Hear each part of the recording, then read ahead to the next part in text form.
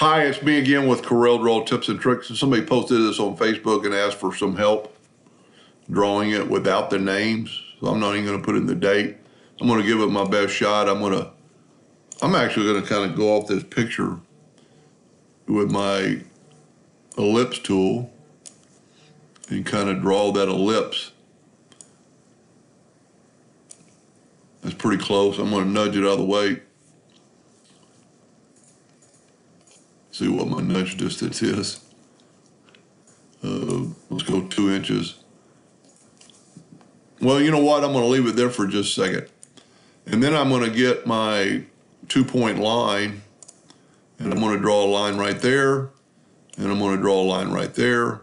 Then I'm going to take the virtual segment delete key and then that way I've kind of got that shape. Now I'll set, I'll move this picture out of the way, nudge it out a little bit more, take away that line, take away that line that was just used for cutting, grab the artistic media tool and grab one that has a bell on one end and not on the other, and then click on it, and then make it a little bit thicker. And then I'm going to go left click, right click, and I'm going to select, and I'm going to go break artistic media apart, and you see that line, our original line, so we don't need that anymore. This point is almost too pointed, so I'm going to take and take the smart fill tool and fill it in. Now I have a more blunt part. Delete, left click, right click, and then I'm going to control D and make a duplicate. And I'm going to bring it down. I want that inside. Actually, I'm going to have to stretch it out a little bit and then stretch it this way. And don't worry about it, it's not even on this side yet.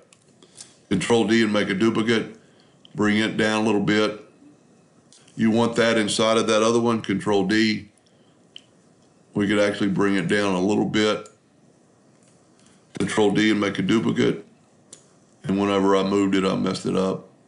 And we also need to ex extend both these a little bit. Control D and make a duplicate. Bring it down extend it. And it all depends on how much room you want between the words. Control D and make a duplicate. Extend that out a little bit and let's bring it down a little bit more. And there's probably one more, so I'm going to do that. Extend it out a little bit more. And then I'm going to select them all and I'm going to weld them.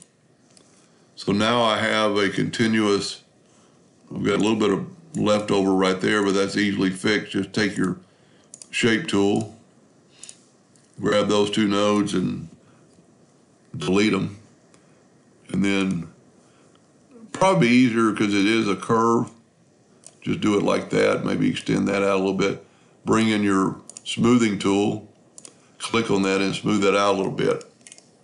Now, like I said, it doesn't look like a tree on the other side and I probably needed to stretch this one out, but you could still stretch some things out with your shape tool and just grab all three of those nodes and just bring them out a little bit. We could actually come down, bring that a little bit and come down. Now to get it to look more even like a tree, I'm gonna try the uh, envelope tool. I'm gonna delete that one node and I'm gonna bring this out bring that in, bring this up. So that looks pretty much like the tree. We need to put a bottom on it and we need to put some stars in it. Uh, you could do anything for a bottom. Let's, uh, let's draw a rectangle. Turn it into a curve. Take the shape tool and just bring that in. And you could do this mathematically. And you know what I'm also going to do before I do that? Before I convert it to a curve, I'm going to take and I'm going to round off these two bottom ones. So it'd be this one just ever so slightly. Whoop, I got my ratio locked. That wouldn't really matter. Unlock that and just round off the bottom like 0.04. And then convert it to a curve. And let's set our nudge factor on like um, 0.01. Let's zoom in here on our stand. Grab that node and nudge it in. Make sure it's turned blue. Two, three clicks. Four clicks. Go back and put one more there. And you might not want that on the bottom. And instead of welding it, I'm just going to use the virtual segment delete key. It's a lot safer. And since we've already, and then just take the smart fill tool and fill that in. Let's move that over. Whoop. Let's left click, right click. Let's, uh, we actually probably need to bring this part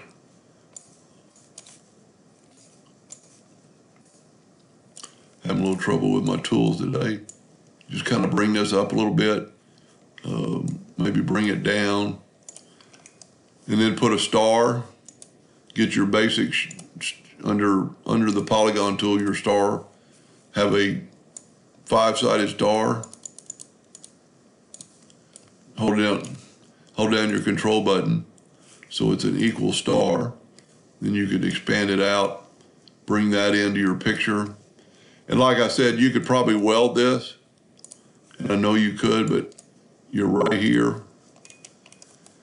And then we need to fill that in again with the Smart Fill tool.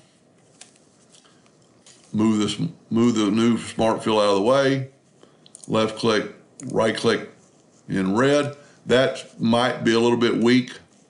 Let's see what else there are. There's some stars on the base to make it stronger and two stars there. So get your new one, get your star, make sure it's set on five points this time. Bring a star into there, control D, make a duplicate, put a star there. Let's control D and make a duplicate and let's make this next star a little bit smaller. You're basically these are going to be for strength and the name. It all depends on what you're going to do with this. Now let's try to weld it and see what happens with the stars. Select it all and weld, and it worked. You don't have to smart fill it, but I'm going to smart fill it to show you what it's going to look like. Pretty cool design. And then you would just left click and right click and add your names if you wanted in there and you could do them actually. I might make a second video on how to maybe put it in there. And then you could make it as large as you want. This is, you know, we'd make it, have your ratio locked and let's make it 12 inches tall. So hold on for a second video and I'll show you maybe how to properly put the names in there. Hope that helped a little bit. Thank you for watching.